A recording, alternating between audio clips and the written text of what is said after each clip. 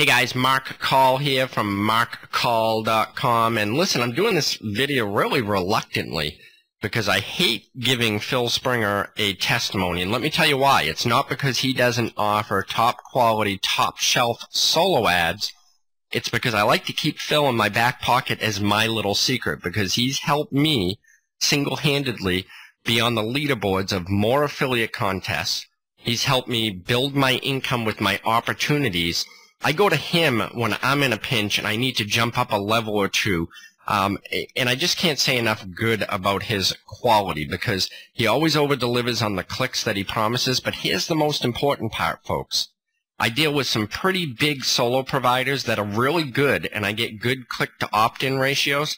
But Phil always delivers one of the best, if not the best, click to opt-in rate. And we know it's all about building that list.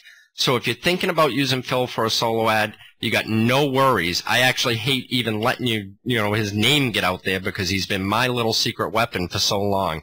Just don't hesitate. Go ahead, work with this guy. He's the best of the best. We'll talk to you later.